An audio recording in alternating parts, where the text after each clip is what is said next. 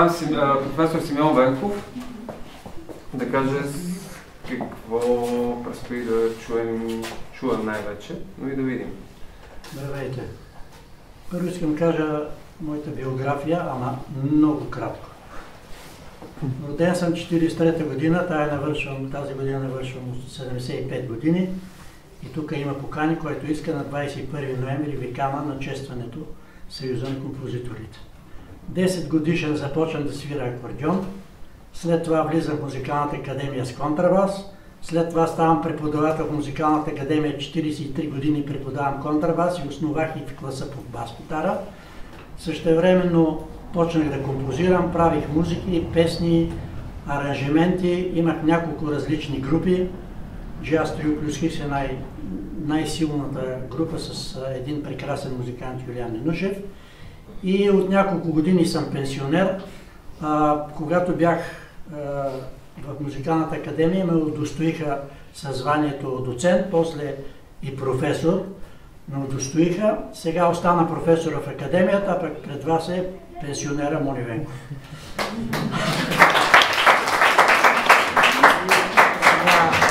Това, което ще ви представя, това е Валери Петров, Меката есен. Но аз преди това бих искал да ви прочета две стихотворения и две есета малки на моята дъщеря, които ще ви въведат в, в, в самата поезия на Валери Петров. Но преди това искам споделя, нали е представен поезия. Аз живот съм си написал две стихотворения. Едното, когато влезах в двора на Вазов, просто ми изкочи, ми се, просто се създаде това стихотворение в главата ми, вечерта го написах и второто преди една година го написах. Затова си позволя да ви ги прочета и да разкажа случката как е станало второто, защото смятам, че ви е интересно. Двора на Вазов.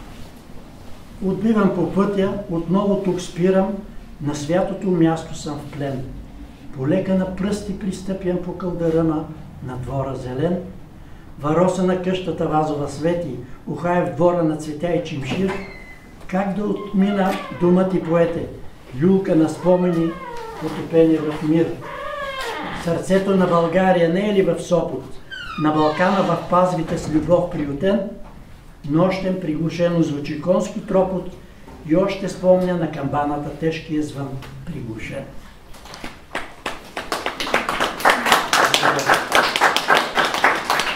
Стихотворение се роди във връзка с едно штурче. Дъщеря ми беше болна, отидах при нея, където живее. И тя каза, бе, татко, не мога да спя едно штурче, ми штури вече три дена. И аз викам, няма да го убиваш, ще го занесеш в кухнята да штури, да не го убиваш, защото ако го изнесеш навънка, то ще умре от студ. И дъщеря ми въз основа на това мисля цяла нощ вижте какво прекрасно нещо е написано. Мисли за любовта. Дилемата дали да изгониш навънска калецът, който вече трета нощ тури, пее, има ли такъв глагол или скърца, или да продължиш да го търпиш и то с любов, защото татко ти е казал, че ако го изпъдиш, ще умре на този стук вън. Всяка поучителна дума, която баща ми е отправил към мен и до днес много често ме кара да се чувствам като това малко русоляво момиченце, любопитно и постоянно откриващо света през нови призми, което, което бях преди 20 години. Толкова добре си спомням. Няма нищо по-сладко и прекрасно от това, да се почувстваш толкова малък и невинен отново. Нищо не знаеш, всичко откриваш, може би за това често търсим партньората си, родител, в чието обятия да се сгушим и светът да спре. Тази връзка обаче съществува единствено между родител и дете и с кой ли предишен живот и делата си в него съм заслужила родители като майка си и баща си, вечно преоткриващи живота, неотменно стремящи се към доброто, смели, мъдри хора, които ме отглеждат все още като мъничка роза на пустинна планета. Трябва да съм била много добър човек, за да съм заслужила това, мисля си. А ако не съм била, тяхната любов ме тласка към тази висша духовна цел. Благодарна съм. Душата ми е благодарна за всяка мъдра дума, за всяко премъдро мълчание, за всяка прегръдка и за всеки малък жест. За палачинковата торта на майка си, за уроците по пяно на баща си и за изречението на скакалеца и аксиомата, че земята се върти.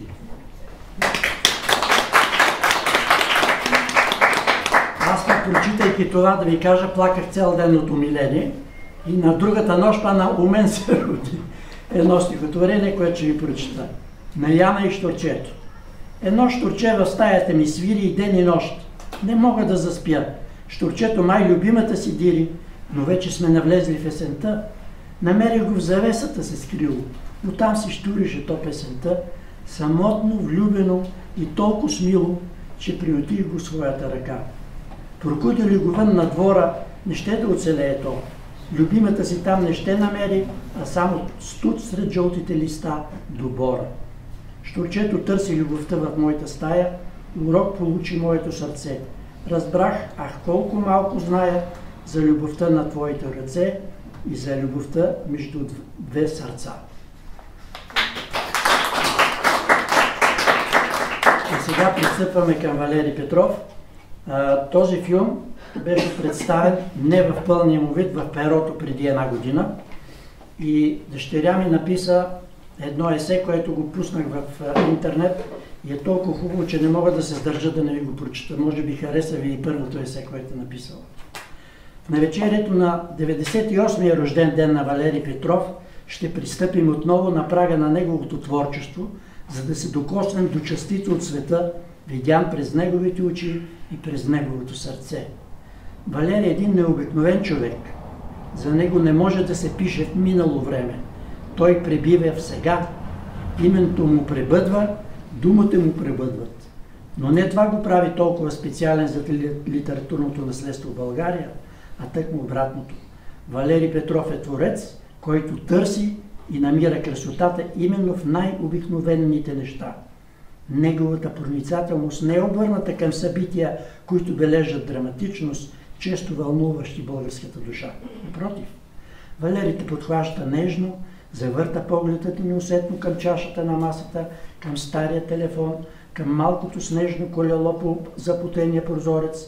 Той те обръща към всички от тези малки неща, които за бързания си живот подминаваме.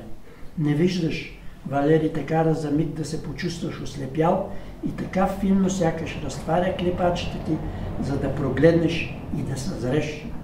Всеки мъничък предмет, който те заобикаля, всяко мъничко чувство, което се е свило на кълбо в теб и чака да му обърнеш внимание, всяка чафтица вдъхновение, което благововее пред един забързан и вечно заед теб и чака да я разгърнеш. Валери разтваря света за теб дори в няколко реда за един единствен есенен лист. Има ли друг, който по-добре умее да борави с простотата на битовизма и така красиво да я завихря, сякаш гали с перо душата и нежно вади от нея всеки спомен, тон по тон, нюанс по нюанс, сякаш това е една мелодия.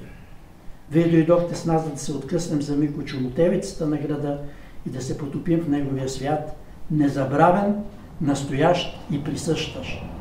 А след като пристъпим, пристъпим прага на тръгване, може и би да погледнем този свят по един различен начин и да чуем красотата на детската глъч, да я чуем скърцането на трамваите по релсите, да я видим в дърветата, в уличните плочи и в нас самите, да осъзнаем, че красотата прибивава в самите нас и да се превърнем в едни от онези хвърчащи хора и поети, доколкото може.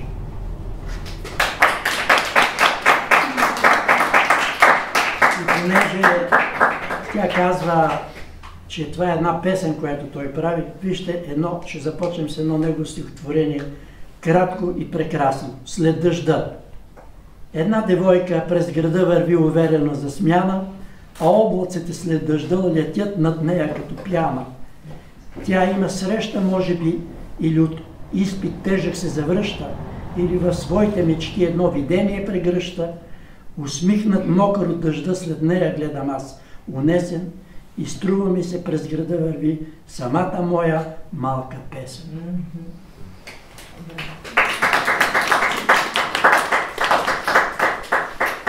И тук искам да връзка пак с текста на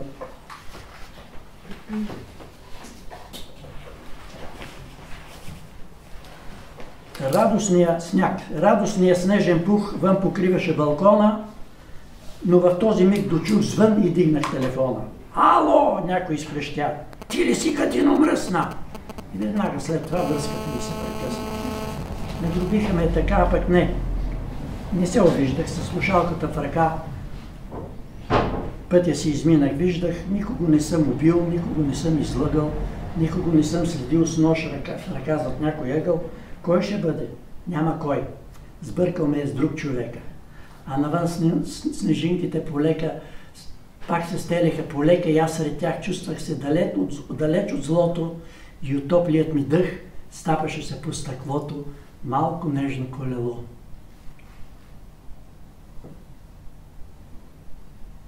А сега да Дявол, а, дявол взел го колко е прекрасно да си с чиста съвест. Това е финал. Но нещо да забравя, извинявайте. И сега, преди 4 години с Вили Чушев направихме текста, записа го на един дъх в Меката есен. Това е цялата поема, която е 6 а, 2000 реда в стихове. И а, той като го направи, ние поправихме някои грешки, имаше много малко, може би 10 грешки за, за четен един час. Той почна да чете и всичко го прочете, го каза после на Изус. Цялата поеме знаеше на Изус и прекрасно я рецитира. Съвсем малки поправки има тук-там. След това аз поставих музиката и се получи поетично-музикален рецитал аудио. И понеже в перото ме поканиха да представям тези рецитали, малко е трудно да поставиш само звуки карти, без картина и с, след голям труд и с помощта и на Светлио направихме много неща, след това и други помогнаха, за да направим този прекрасен филм. От, от 6000 а, снимки съм избрал някъде около 200-300, които сме сложили във филма. Така че това е цял екип, който е помогнал Светлио, Величо Ушев, хората, които са го записвали и, и още и други, които ми помогнаха в музиката да я филирам, за да може да бъде точно, точно да се чувства това, което е чувствал и Валери Петров, настроението на самия епизод.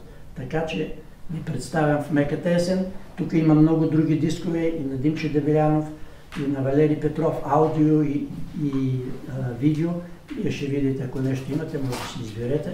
А сега ви желая приятно гледане и слушане. И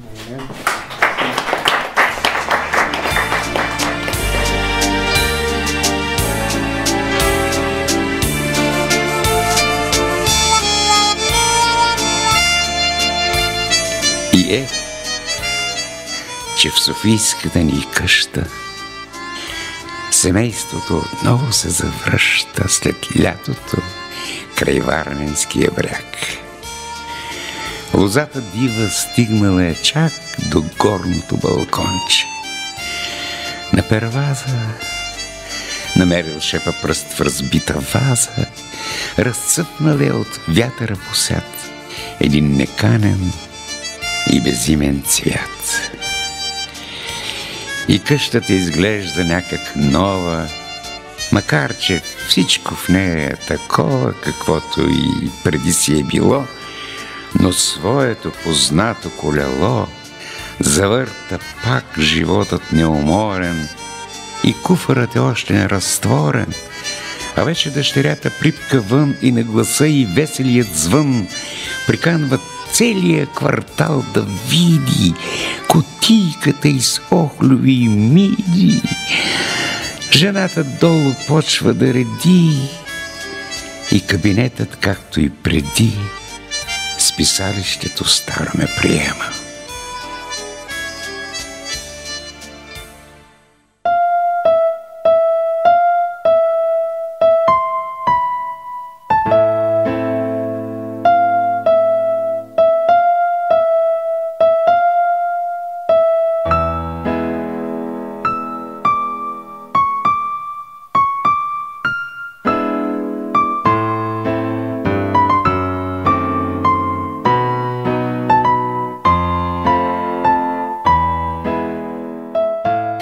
Тъй започва новата поема в полах лек на есен и печал До телефона седмици мълчал, пред прашната машинка, за която съзрявал е в мене цяло лято. Какво ти лято, цял живот? То стих. След обедът е нежен, мек и тих. За мач закъснели тичат двама. Деца на плочника чертаят дама и ето, че разплаква се едно. Аз гледам ги и мисля си, дано заплахите надвиснали зловещо, над всяко същество и всяко нещо, лъчат на слънцето да озари. В името на детските игри, спокойствие земята ни да има.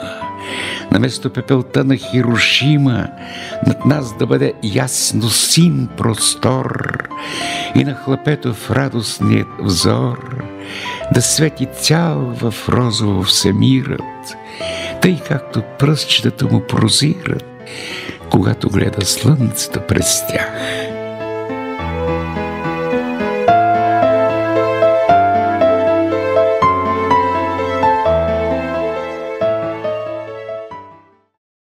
Той е точно тъй, но чувствам страх, че с тези стихове не ще излеза от правилната, но позната теза, която сгрява само «Знам го аз», когато всичко казваме за нас. А казваме ли всичко?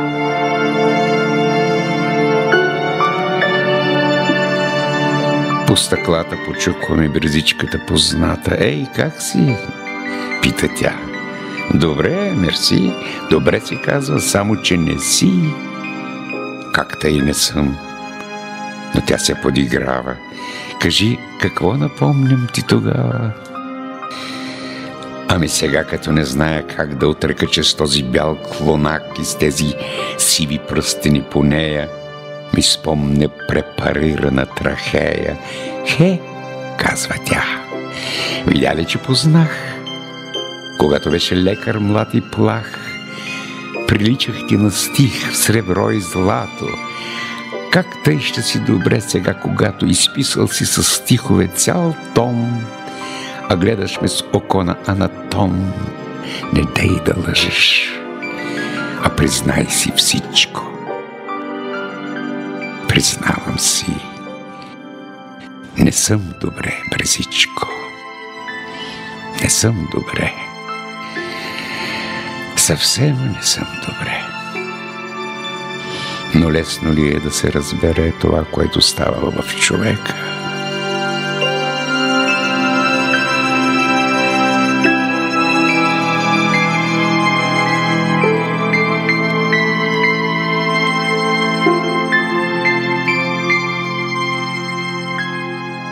По Витоша пълзи мъглица лека и носи тънък чар необясним. Отвънка иде мирисма на дим. Деца горят купчинките от шума. Студеничко е, есен с друга дума. А аз седя си в своя кабинет с книги и изписания на вред изкуството на този свят събрали и гледам и мисля си, едва ли ще смогна да попия всичко в тях. И смея се, но без да ме е смях. Защо тъй алчно трупам ги, когато от цялото това книжовно злато загребал съм до днес тъй малка част – какво да се направи, братко, страст? И виждам аз как моята библиотека расте, расте, обграждаме полека, притискаме и някой Божи ден, аз знам, ще ме намерят задушен от прашни книги. Телефонът само катурнат от умиращото рамо ще съобщава с далечен глас, че нови книги са дошли, но аз ще се усмихвам мълчаливо вече – от книги и книжарници далече.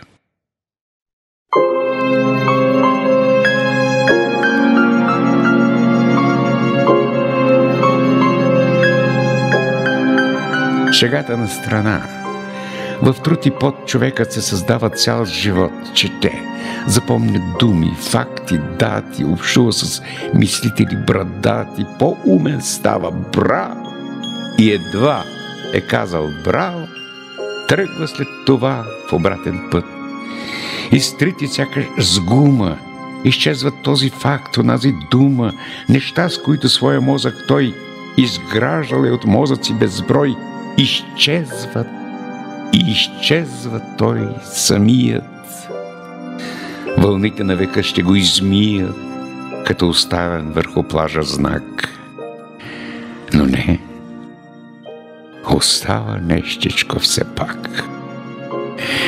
Този лист не е от пясък като плажа. И аз на него искам да разкажа. Но точно както си го чувствам аз за себе си, за времето, за нас. Да ние сме част от общото ни време. Защо тогава още тъй си е време в онуй, което чуждо е ови за тебе и каквото щеш прави, пак чуждо ще остане, само дето ума си похабяваш и сърцето.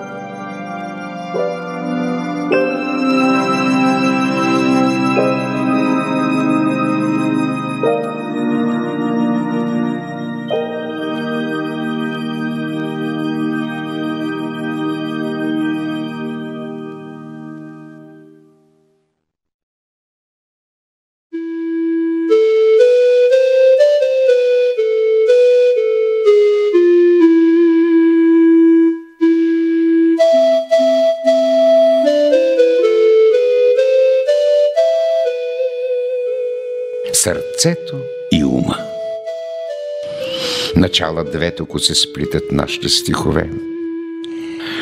Аз спомням си в пъмтежа на девети.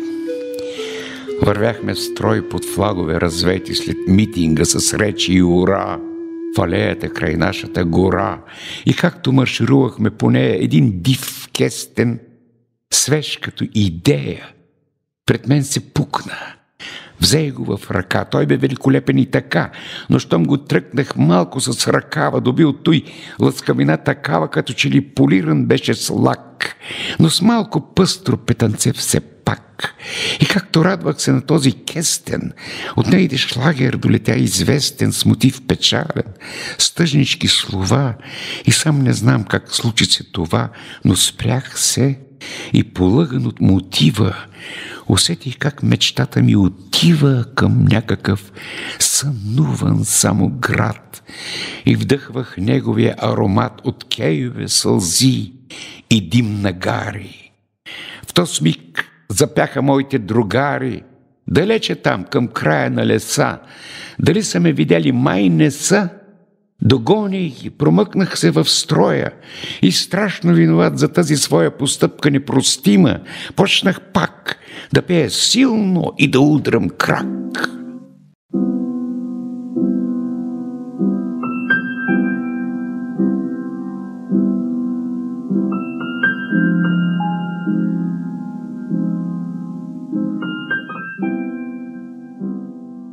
Как казах там – постъпка непростима.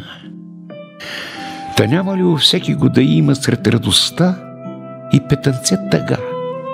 Ще има, отговаряме сега. Ще има, да, но от известен ъгъл. О, знам го, знам. В това не съм се лъгал. За този същия ъгъл аз дочул в дъжда на чатка нощният патрул. Придръпнаха към себе си и ние прегърнахме се той да ни открие изписаната с тебешир стена и нейната девича топлина разтупкана под мократа и дрежка и моето неопитност младежка се смесиха с фашистския терор, с явките на Бон, с оня спор за Хераклит и Дарвин и с оня звук чаткаш от подковите на коне. Минаваш! Минал с лозунга зад нас, чиято вера в утренния час сред бедните ни къщи щеше да засвети за скъпите ни хорица с каскети. И ето, че с трептяща чистота докоснаха се нашите уста до таз дъждовна нощ с всички сили привличането си взаимно крили. Целувка първа, помните до днес и няма да те смеся с унес, които после пръснах в безреда. Към твоя ъгъл споменът ми гледа, когато стане дума за любов. Сега на него има надпис нов, с големи букви, надка памукчийска. Да, ти да остарееш не поиска, остана си до края млада ти, край ъгъла на нашите мечти, преди снегът да падне по косите. Жандармерийски шмайзер по косите и те превърна в уличка добра с най-много двайсетина номера, като живота твой, тъй също кратка. Децата я наричат просто натка. И щом по нея ми се случи път, аз чувам ги как весело крещят. На надка да отидем да играем. На надка дават колела под наем. И пак на надка гледам. Младеща повтаря все известните неща. Той все така да си върви решава, а все остава и се утешава, че щом като е още няма там, то значи шансът става по-голям – и прав е. Иде тя по тротуара, той сял си яещ. Дълго и се кара, тя дава обяснение безброй и вижте го, капитулира той и тръгват си. О, влюбени вървете по уличката с цъфнали дървета, наречена на името на таз, която даде своето на вас. Остава празен ъгълът. Едничък. Аз чакам под табелката самичък, дошъл изтез отдавнашни места, насреща безнадежна сладостта.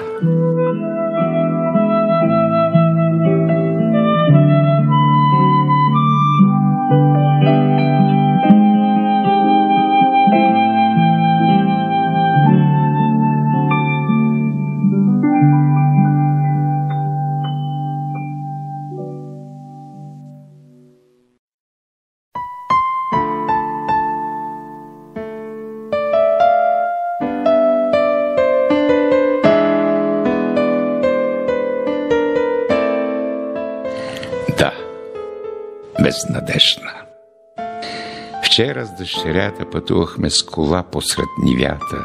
Валеше. И тя каза изведнъж, че правят не чистачките за дъжд. Чистачките за дъжд. О, дъжд е моя! Наистина те правят не.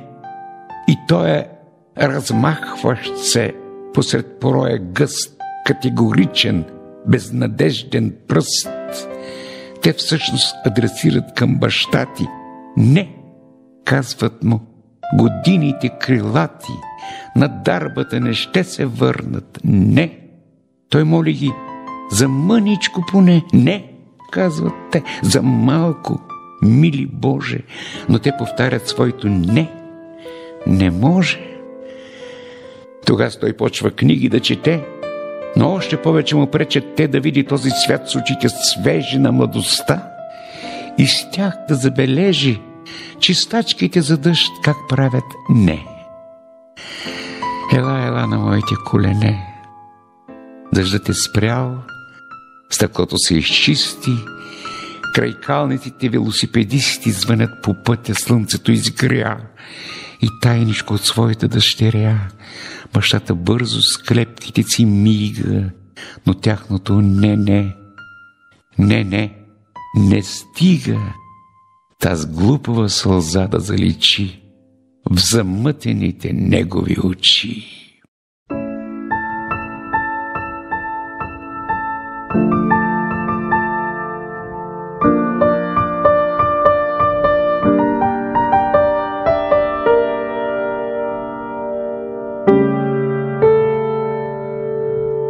Защо си тук прокрадна тъжен спомен?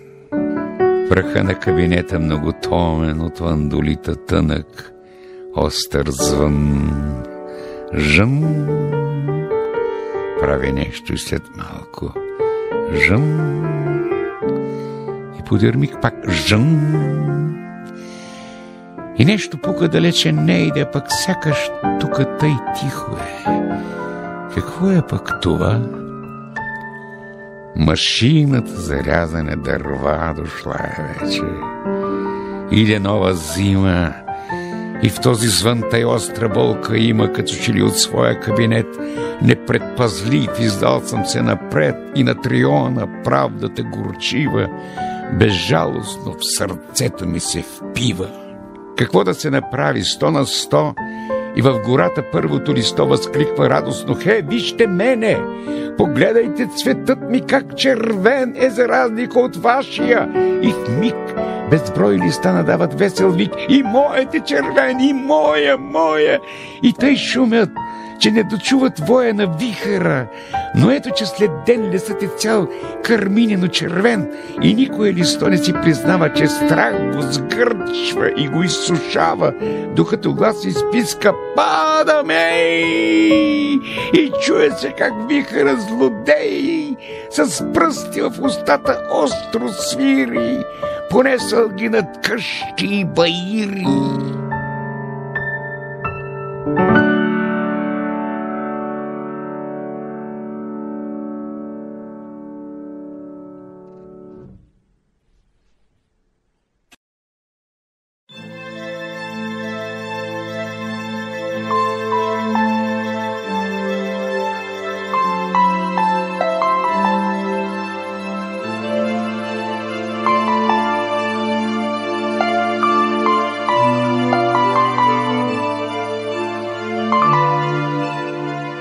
Така веднъж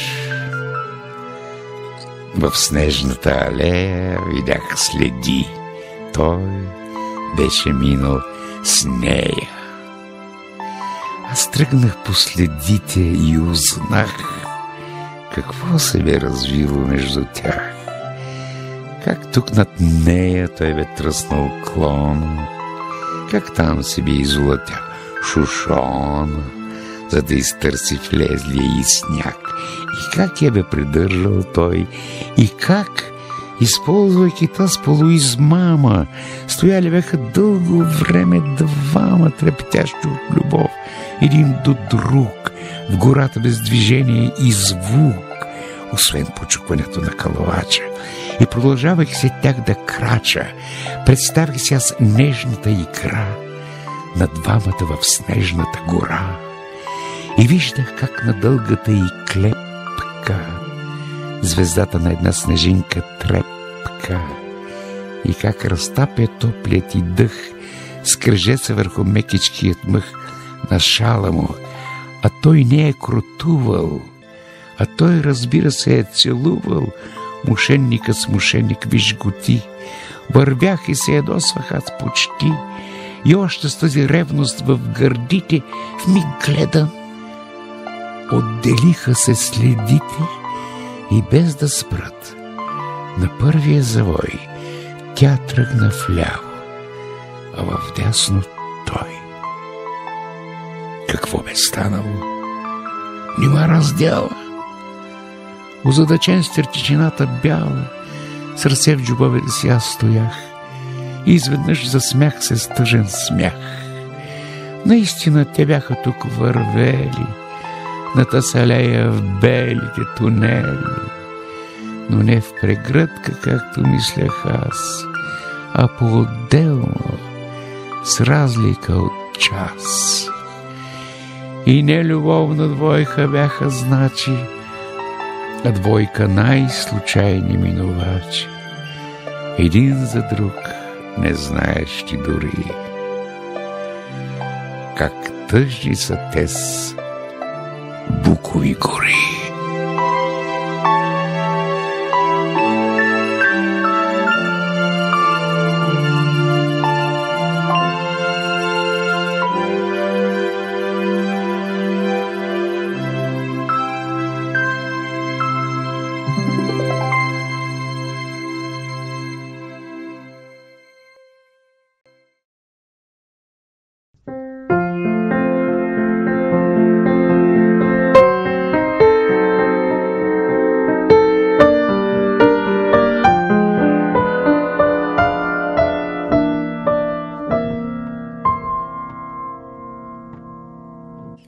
Ала нощта не винаги е лека. И ще се върне някой ден човека с оно и горчиво чувство за вина, от смесване вина горчивина, което след голяите остава. Какво ще стане с близките тогава? Тъй както в красословична игра художник Репин, бог в Египет Ра, съдбите водоравни и отвесни са сплетени в такива връзки тесни, че тук на место Ра, щом сложиш Ре, там радостта в ревност ще замре. И тук виж запляла твоята грешка, ужасна галиматия човешка, със сълзи, адвокати и писма. А собственото щастие нима, щом то е с чуждо щастие платено, е щастие, ако е подплатено с страхове и гузности, ако. Прилича на обръщано сако с джобчето отдясно, то тогава какво от него собствено остава, освен две-три примамливи лъжи? Нима това е щастие, кажи. Да, щастие, упорстваш ти, при все, че, щом рече го и нещо те пресече. Дали не си като търговец лош, менейки за жълтица своя грош? Обратно той ме спир. Не обратно, а точно тъй. Това блестене златно на чуждите коси, дали пък то не е оксиженирано злато? И таз до твоето рамо къдра сива, дали не е от него по-красива, защото е сивяла редом с теб, в миналото, в оня свят свиреп. Не дея ти подхвърля слапи груби, такъв сив грош се много лесно губи, а щом го ти изгубиш, друже мой, ще видиш колко ценен бил е той. Светкавична ще зине пукнатина през таята, през жълтата картина, през оня стол, през този детски блок, с нарисуван някакъв мишок, през навици, другари, снимки, книги. Къде са твоите близки? Оби книги, да бъдете ви и тримата пред тос, изправил се пред трима ви въпрос.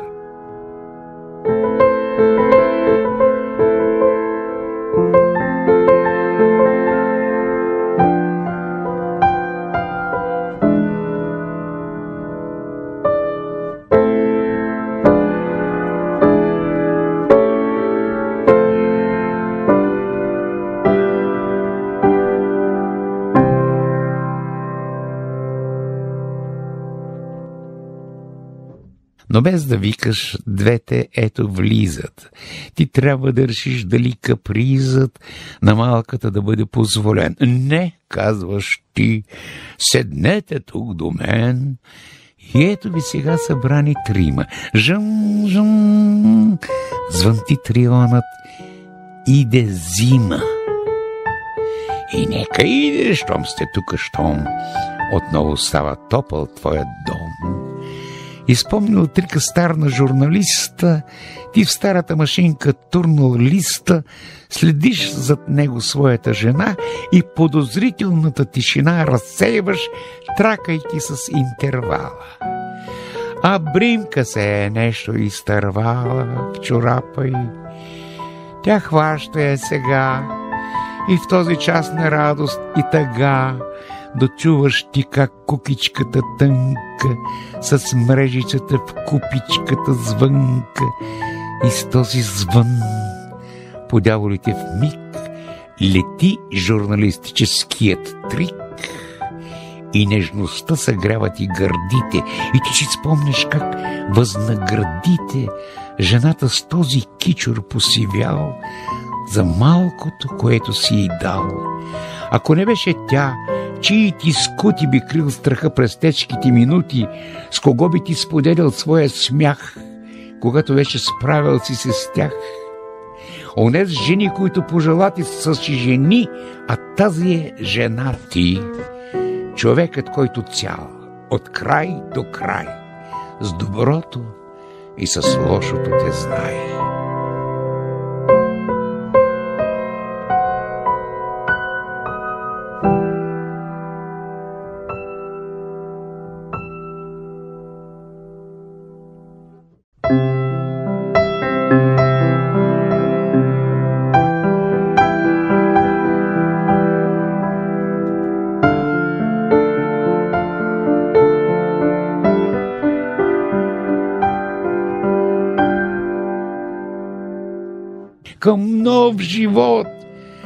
Та мисъл е блестяща, но нов живот с стар живот се плаща.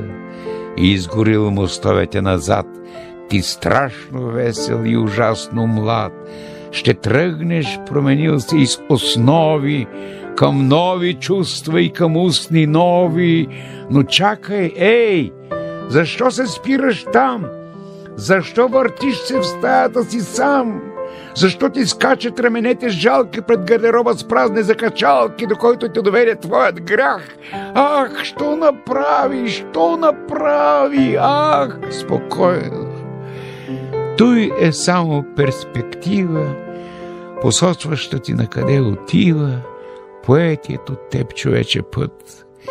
В гардероба роклите висят, оплашването беше мимолетно и ти Успокоил се съответно, оглеждаш се щастлив около връст и в миг забравяш да потракваш с пръст по своя интервал и в тишината разсеяно поглеждате жената и също спира своята игла и кимва ти. Дали би тя могла да обясни каква причина има за кимването и кому ли кима? На тебе ли? На себе си? Или на миналите дни, добри и зли? Или на тези, които там ви чакат до оня ръб, от който почва мракът? На той, че сте познати от деца, че цъкали са вашите сърца едно до друго в реки дни и в мъчни, подобно на часовниците ръчни, които ви на шкафчето до вас дочувате да цъкат в нощен час. Наистина, кому жена ти кима, с усмивчицата си неуловима? Но ти улавяш я и виждаш ти, че нейната усмивчица трепти към дъщерята, седнала зад тебе.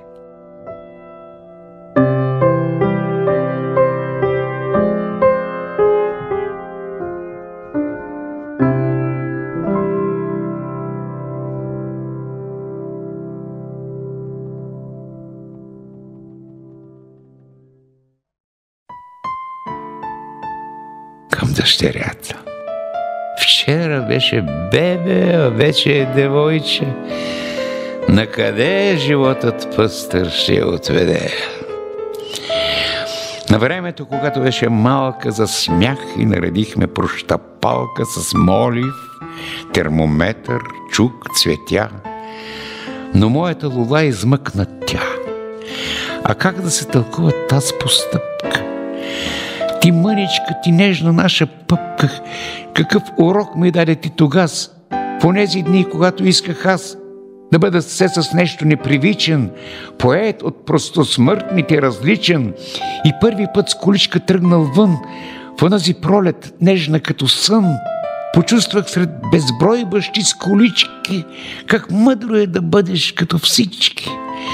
Но бързо ти израсна и сега, припомняме си с мъничко тъга – за случките, които ние двама пропуснахме, не оценихме с мама. За оня ден, например, в който ти в службата веднъж ме навести и стана тъй, че чурих се какво да направя с тази локвичка на пода сред моя толкова важен кабинет. А твоите въпросчета безчет желаеше за всичко да узнаят. А котките, бе, татко, колко траят? а колко траят котките, не знам. Но много нещо съм готово да дам, да трая дълго възрастът и сладка. От всички наши възрасти най-кратка. Но ти това не ще го разбереш с темпове рекордни ти растеш и горда си, че ставаш по-голяма. Не искаш да ти викат малка. Ням. И може би си права. Знам ли аз? По телефона вече всеки час обаждат ми се гласове момчешки, които вечно се оказват грешки. И после това е вече женствен смях, и после това е вечен бащин страх. Детенце наше скъпо ненагледно, детенце наше първо и последно, нима си ти покълнало от нас. Цъфтежа ти, когато гледам аз, не мога истински да проумея. Таз, мъничка, женичка, как аз нея създал съм я. Не е ли чудно на от мен мъжа да се роди жена? И аз те гледам нежно наше цвет и гледам майка ти. То смикнат двете добри лица с израз мек и чист. В слънчев сноп кръжи прахът златист и всеки лъч от него сякаш има пълнеш от нежност невъобразима и не прашинки сякаш са това, а мои неизказани слова, кръжещи без лъжи и без измами, на теб жена, която си жена ми.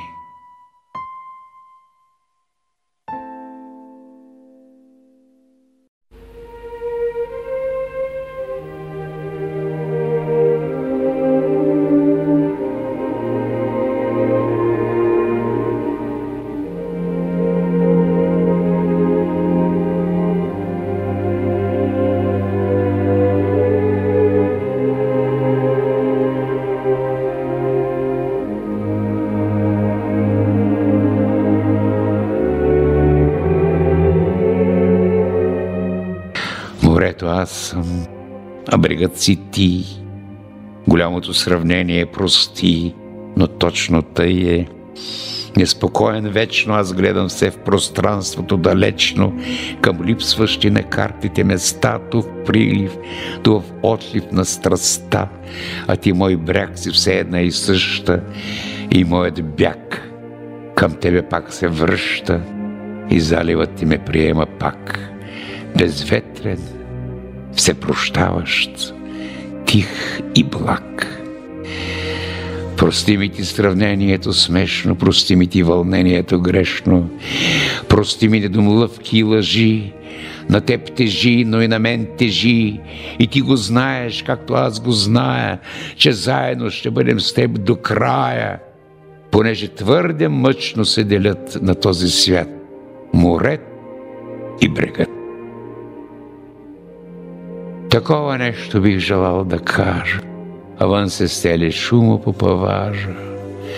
И своето семейство гледам аз, и няма интервал помежду нас. И чувствам как от кошера в мене, излитаната с радостно бръмчене, на обичта ми златната пчела кръжи, кръжи над двете им чела и се оплита в мрежицата тънка, с която кукичката щета звънка, улавяйки отново снежен глас, изпуснатата бримка между нас.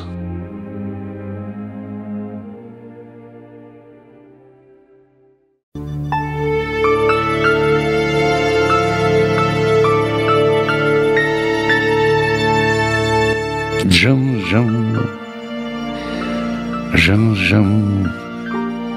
Отново в агитка по стария си навик аз избих, а уж разправях в интимен стих. Но що от той? Погледай как страната разцъфва се за радост непозната, която предугаждаме едвам. За ден, като пътувахме насам, аз прекосих те мъничка родино и твоето спокойно, мъдро вино опи ме стопъл есенен кипеш. О, колко ти се радвам, че растеш с жлътналите се отсрещ щастливи, с къщите червени и щастливи, с тракторите, с белия комин, с фермите, с язовира син, в който плува облачето бяло. Сърцето ми изпълнено е цяло с тебе и с твоите мечти. Българио, как скъпа си ми ти, как мека си като домашна пита, как чиста като стомна не напита, как проста като стръкче от шибой. Аз чувствам се така дълбоко твой и чувствам теб така дълбоко моя.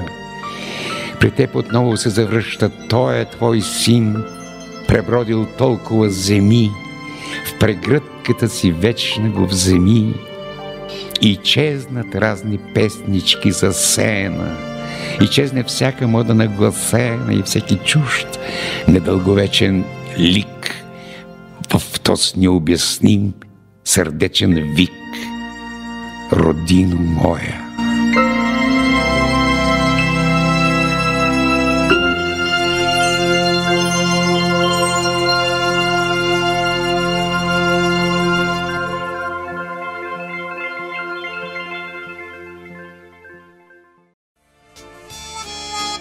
И време е поемата да спре, тъй както почна тихо и полека, с уличката, с тази есен мека и с телефона прашен, чието звън ме връща след разходката извън пространството и времето отново. Пространството и времето сурово, с дневните редакторски неща – с печатниците тракащи в нощта, с труда, с дълга към хората, от който човек не може да откъсне своето съществуване на този свят, защото с тях животът му е след, защото няма лична, частна тема. И доказателство е тази поема, която мислех да си вкусвам сам, а пък сега предчувствам, ще дам на ближния – защото съм е писал с скритата дори за мене мисъл, че някому тя все ще позволи да срещне, независимо дали той всичките и мисли ще приеме един свой брат в неговото време.